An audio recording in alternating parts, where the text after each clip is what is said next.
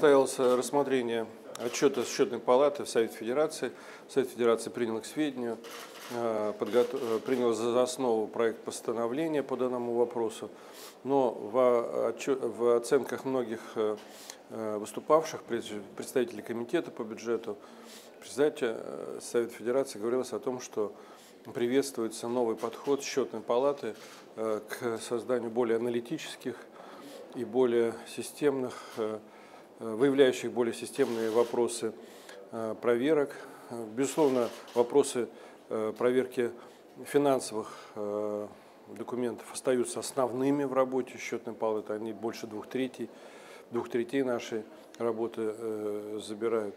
Но мы стали больше уделять внимание самым социально острым вопросам, таким как выплаты пенсионерам. Это так называемый персонифицированный учет, который э, обеспечивает качество и доплат, и выплат пенсионерам.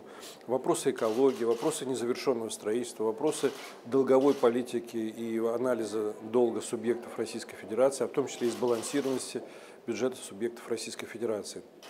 По всем этим вопросам э, у нас есть проверки. У нас получается, что за прошлый год 22 а, предложения э, Совета Федерации были учтены при планировании нашей работы.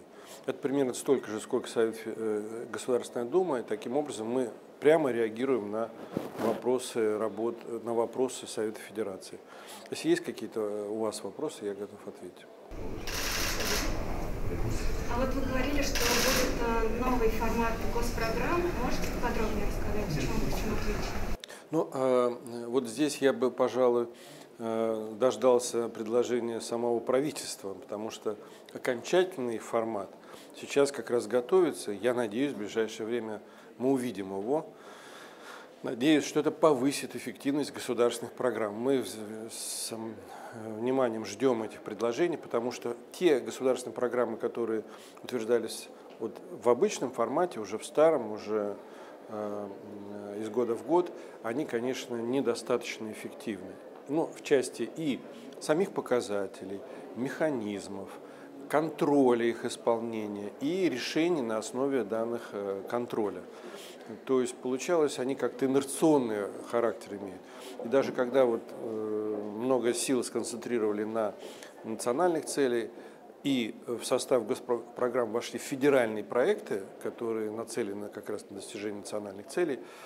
Мы говорили о том, что вот качество федеральных проектов и всех госпрограмм в целом, они пока отличаются.